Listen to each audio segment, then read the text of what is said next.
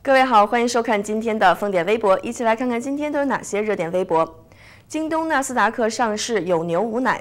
京东在纳斯达克正式挂牌，发行价十九美元，最多融资将超过二十亿美元，成为纳斯达克第一百一十八家中国上市的企业。为此，纳斯达克送给了京东一尊金牛作为惊喜。不过，广大八卦群众期待的刘强东女友奶茶妹妹并未现身。对于奶茶妹妹没有来，东哥称不好意思，这是私事。再来看看这条微博，据《华尔街日报》最新报道，越来越多的中国品牌正在极力植入好莱坞的大片。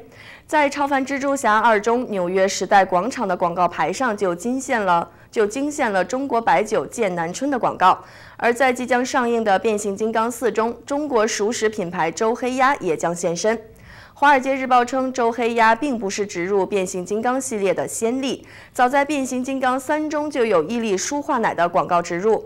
而相关人士表示，周黑鸭希望植入《变形金刚四》，能够把它打造成中国版的肯德基或者是麦当劳，筹划高端的品牌路线。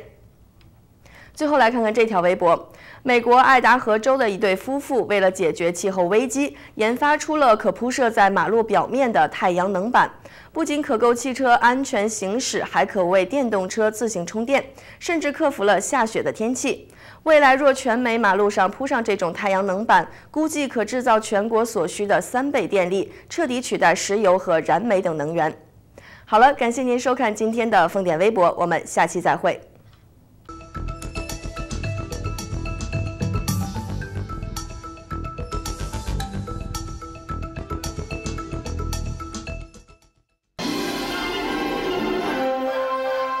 您正在收看的是凤凰卫视。